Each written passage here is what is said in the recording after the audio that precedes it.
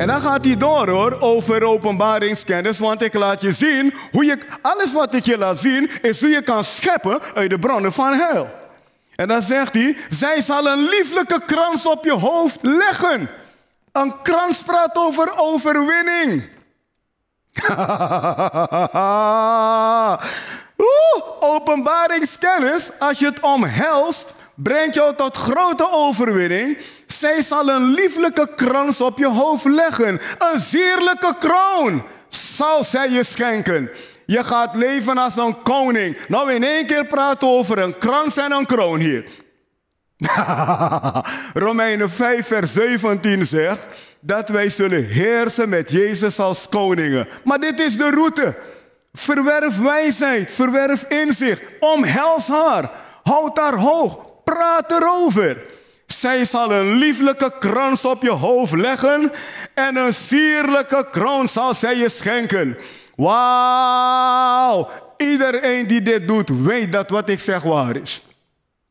Je voelt het, je ervaart het. En dan staat er, hoor mijn zoon, mijn dochter, neem mijn woorden aan. Die openbaringskennis die je hebt gekregen, neem mijn woorden aan. Hier komt het, op dat.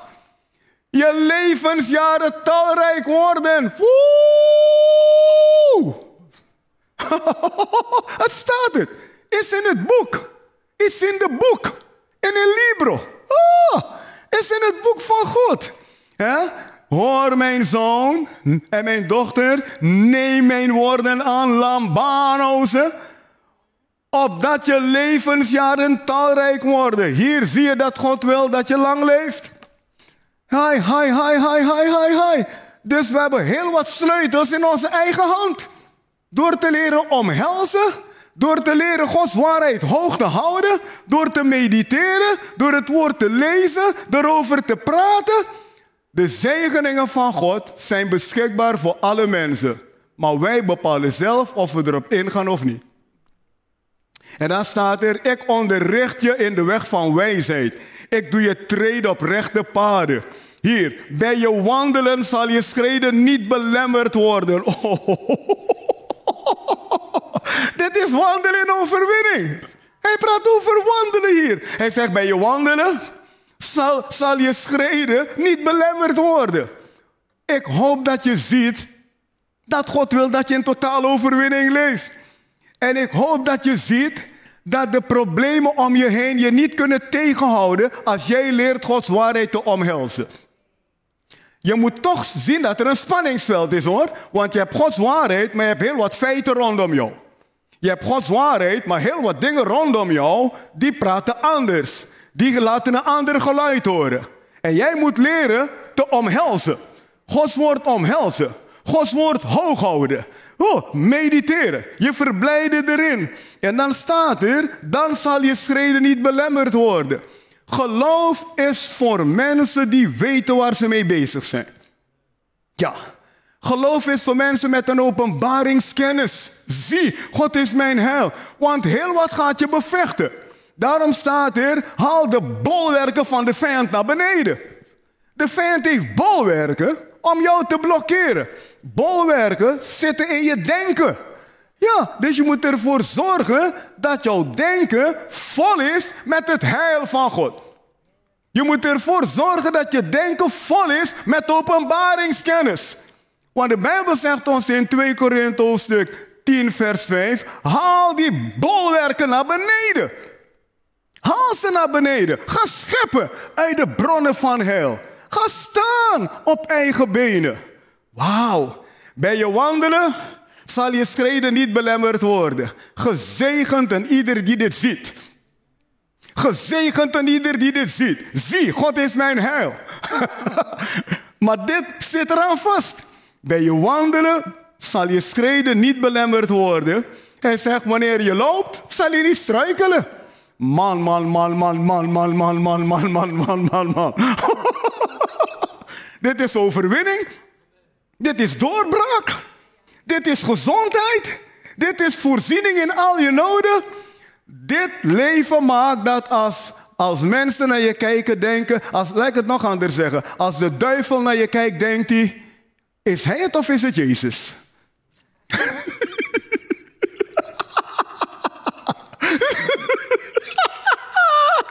Want dit was Jezus, zijn leven. Jezus zei, ik leef bij de woorden van de Vader. Ik doe alleen wat de Vader me zegt om te doen. En ik doe alleen wat ik hoor wat hij zegt. Als jij en ik dit leven hebben, raken de duistere macht in de war. Dat ze denken, is dit Jezus op aarde? En dat klopt, want jij bent zijn ambassadeur. De Bijbel zegt, we zijn een open brief van Jezus. Als duistere machten naar ons kijken, moeten ze denken: hoe is het mogelijk? Jezus, Jezus, Jezus, Jezus, Jezus, Jezus. Overal zien ze Jezus. Daarom staat er een ieder die in hem blijft, hoort zo te wandelen als hij gewandeld heeft. Ja, God wil dat Jezus in jou gezien wordt. Zeg niet dat het niet kan, dat is je roeping. Dat is wat christen zijn betekent. Dat is je roeping. Dat is je calling. Hij zegt, jij zal mijn getuige zijn.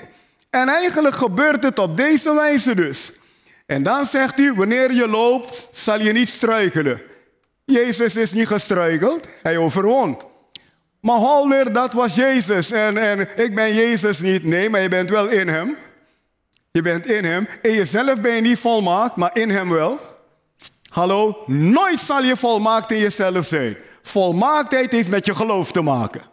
De Bijbel zegt wij zijn volmaakt in Hem. Dus als je probeert volmaakt te worden in jezelf, ga je gigantisch teleurgesteld worden. Maar als je je positie accepteert en zegt, Hij heeft me volmaakt gemaakt in Hem, Hij heeft me waardig gemaakt, dan is jouw volmaaktheid door het geloof. Dus door het geloof ben ik vandaag volmaakt. Ben ik volmaakt in mijn handelen en wandelen? Nee. Maar door het geloof in Jezus ziet God mij als volmaakt. En daar heeft de vijand een probleem mee, want wij overwinnen door geloof. Ah, wie het vatte, vatte het. Je komt nooit in je eigen kracht tot een punt in je leven dat je volmaakt bent. Bestaat niet. Toch zegt de Bijbel, je bent volmaakt in Hem. Maar dat is je geloof. Dus op het moment dat je gelooft, het is volbracht voor mij, ziet God je als volmaakt. en dan kan je dit soort leven gaan leven. Nou let op. Wanneer je loopt, zal je niet struikelen. Schrijf op wat je wil. Dit soort leven geeft en brengt vreugde. Ja, iedereen die dit hoort weet dat het waar is wat ik zeg. Als jij dit soort leven kan hebben, brengt het vreugde. Daarom staat er, je zal scheppen met uit de bronnen van hel, met vreugde. Heeft met je geloof te maken. Heeft met openbaringskennis te maken. En het heeft te maken met jouw ingaan op die openbaringskennis. Psalm 16, vers 11. Ik wil laten zien dat het dienen van God niet deprimeert, maar blij maakt. Er zijn mensen die denken, ja, als je God dient, dan mag je niks meer. Kom! Als je God gaat dienen, gaat de wereld voor je open, man. De wereld van God gaat voor je open. Het koninkrijk gaat open. Blijdschap gaat open. Hier, Psalm 16, vers 11. U maakt mij het pad van het leven bekend. Niet het pad van de dood, het pad van het leven. Woehoe! Heel wat dingen in dit leven is om je te doden. Maar God maakt je het pad van het leven bekend. Let op. Overvloed van vreugde is bij uw aangezicht. Aangezicht betekent ik wandel met u. Over, overvloed van vreugde is bij zijn aangezicht. Dus jij moet voor zijn aangezicht wandelen. Je moet in zijn tegenwoordigheid wandelen. Oh, dat brengt vreugde, man. Daarom hebben wij het evangelie van glorie. De blijde boodschap van glorie. We hebben geen ellendige boodschap. We hebben geen deprimerende boodschap. We hebben een boodschap van vreugde, van glorie. Hier, overvloed van vreugde is bij uw aangezicht. Weet je, in de supermarkt is voorraad. Dus als je de spullen van een supermarkt wil hebben, en vergeet online nu eventjes, als je de spullen van een supermarkt wil hebben, moet je erin. Ja, en nu, als je de vreugde van God wil hebben, moet je voor zijn aangezicht wandelen. Dat brengt openbaringskennis. en dan staat er lieflijkheid. Een andere vertaling zegt veel plezier. Lieflijkheid, veel plezier is in uw rechterhand. Hoe lang? Voor eeuwig. Voor eeuwig. Dus ook 221. 222, 223. Plezier is voor eeuwig. Er is heel wat rommel rondom jou. Ja, tuurlijk. Je leeft in een wereld wat gespannen is, hoor. Je leeft in een wereld wat niet mals is, hoor. Daarom moet je leren in Gods tegenwoordigheid te leven, want daar is vreugde, overvloed van vreugde en lieflijkheid, veel plezier in zijn rechterhand voor eeuwig. Bronnen van hel. Als dit geen bronnen van hel zijn, dan weet ik het niet meer. Als dit geen bronnen van doorbraak zijn, weet ik het niet meer. Schrijf het op wat je, als je wil. Dan zal je met vreugde water scheppen uit de bronnen van hel gaat over verloste mensen. Dan zul je met vreugde water scheppen uit de bronnen van heil. Gaat over verloste mensen. Mensen die Jezus hebben leren kennen. Hij is er tot heil geweest. Hij is hun heil. En ze gaan nu scheppen uit de bronnen van heil met vreugde. Dit gaat over verloste mensen en hun erfenis. Schrijf het op. Dit gaat over verloste mensen en hun erfenis. Je hebt een erfenis. You have an inheritance. Een inheritance. Oeh, soy heredero. Ik ben een erfgenaam. Oh, soy heredero con. Ik ben een erfgenaam met Christus. Dit is je erfenis.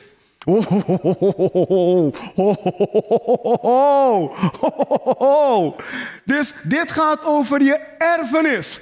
Ja, verloste mensen en hun erfenis. Bronnen van hel praat over overvloed. Bronnen van hel gaat over Johannes 10, vers 10. Water, waar spreekt water over? Water spreekt over het levende water. In Johannes hoofdstuk 7, vers 37 tot 39 lees je over rivieren van stromen, rivieren van levend water die uit je binnenste zullen vloeien. Dus die bronnen van heil zitten binnenin je. Die bronnen van heil is het leven van God binnenin jou. Johannes hoofdstuk 7, vers 37 tot 39. Wie in mij gelooft, zoals de schrift zegt, stromen van levend water zullen uit zijn binnenste vloeien. Wauw, stromen, bronnen van hel. Niet alleen voor jezelf, maar ook voor een ander dus. Dus water spreekt over stromen van levend water, het rijke leven van Jezus Christus. Het praat over de vrucht van het volbrachte werk. Ja, water spreekt over het levende water, het rijke leven van Jezus Christus. Nou, bestudeer zijn leven maar. Zijn leven was zeer rijk, man. Het praat over de vrucht van het volbrachte werk. Dat is je erfenis. Ik wil een paar dingen geven, afrondend. Het is betekenisvol dat verlosten moeten scheppen uit hun erfenis. Dat laat zien dat er actie van onze kant moet zijn. Ik hoop dat je dit ziet. Jij moet scheppen. De bronnen van hel zijn daar, maar jij moet scheppen. Het is dus betekenisvol dat verlosten zullen scheppen uit hun erfenis. Dus je hebt een erfenis, maar je moet eruit leren scheppen. Je moet het in bezit nemen. Water scheppen doen wij. Oh, het water, God zorgt voor het water. Maar het scheppen doe ik. Het water is het rijke leven van Jezus. Jezus, het scheppen doe ik. Ik lambano. Wauw. Dit is hetzelfde als staan op je eigen benen voor je erfenis. Dit is hetzelfde als staan op je eigen benen voor je erfenis. En dan ga ik je een praktisch voorbeeld hierin geven. Hoe heeft Joshua dat gedaan? Hoe heeft Joshua... Uh, Joshua moest ook scheppen uit zijn erfenis. Hoe heeft hij dat gedaan? Ik geloof dat het goed is om je een praktisch voorbeeld te geven. Joshua had een erfenis en hij heeft ook eruit geschept. En hoe heeft hij dat nou gedaan? Nou, dat wil ik je laten zien. De taak van Joshua was om Gods volk in hun erfenis te leiden. De taak van Joshua was om Gods volk te helpen te scheppen uit de bronnen van heil. en we gaan het lezen. We zien, laat ik dit zeggen, Joshua hoofdstuk 1 vers 6. Joshua 1 vers 6. Wees sterk en moedig. Laat je niet afleiden dus door alles om je heen. Wees sterk en moedig. Jozua, want jij zult dit volk het land doen beërven dat ik hun vaderen gezworen heb hun te zullen geven. Jij zal dit volk helpen om te scheppen uit bronnen van heil. We zien dat elke stam heel actief moest geloven om in bezit te nemen waar ze recht op hadden. Israël heeft twaalf stammen en had twaalf stammen daar moet ik zeggen. En elke stam moest hun geloof activeren om hun erfenis in bezit te nemen. Elke gelovige moet zijn, haar geloof activeren om jouw erfenis in bezit te nemen. En God zegt, wees sterk en moedig, want je zult dit volk het land doen beërven. Wat God aan gaat, staat het vast. Meditatie, schrijf het op. Meditatie speelde een hele belangrijke rol hierbij. En dan ga ik naar Jozua 1, vers 8. En dan staat, overpijns mijn woorden dag en nacht. Overpijns mijn woorden dag en nacht. Overpijns mijn woorden dag en nacht. Nou laat ik u dit zeggen. God geeft niet zomaar deze instructie. Ik wil je dit laten zien. Let op. Jozua had de beste coach ooit. De beste coach die Jozua heeft gehad was Mozes. Jozua heeft Gods kracht veelvuldig in werking gezien. Toch benadrukt de Heilige Geest hier dat hij moet leren mediteren. Dit is iets om over na te denken. Jozua heeft de beste coach gehad die je maar kan hebben. Mozes. Mozes. Jozua heeft 40 jaren training van Mozes gehad. Jozua heeft allerlei wonderen en tekenen gezien. En toch zegt God tegen hem hier, jij moet blijven mediteren. Wel, wat denk je dat God tegen jou en mij zegt? Een man die 40 jaar de beste coach heeft gehad, allerlei wonderen en tekenen gezien heeft, door de Rode Zee is heen gegaan. Oh, een wolkkolom heeft gezien, een vuurkolom heeft gezien. Een man die in de woestijn Gods hand op allerlei wijzen gezien heeft. Tegen die man zegt God, je moet mediteren. Wat denk je dat hij tegen jou en mij zegt? En het was noodzakelijk voor hun om te mediteren, voor Joshua en het volk, om hun bezit in, be, om hun bezit, in bezit te nemen, anders zou het niet werken. Ik hoop dat je begrijpt dat wij moeten leren mediteren om te scheppen uit de bronnen van heil. En wat is Bijbels meditatie? Nadenken over wat God zegt, praten over wat God zegt, vasthouden aan wat God je gezegd heeft, niet loslaten, want alles trekt aan je. Alles trekt aan je. Je denkt toch niet dat de duivel in een hangmat ligt te slapen? Nee, hij, hij trekt aan je. Hij doet alles om je maar bij die waarheid weg te halen, want die waarheid heeft hem kapot gemaakt. Die waarheid heeft hem overwonnen. En als jij aan die waarheid vasthoudt, dan kan je ook zeggen, en met Jezus zijn wij meer dan overwinnaars. Schep uit de bronnen van heil. Kunnen we God danken mensen hiervoor? Wauw. Tof dat je hebt gekeken naar onze video. Vergeet je niet te abonneren op ons YouTube kanaal en klik snel op het belletje zodat je updates ontvangt voor de eerstvolgende video.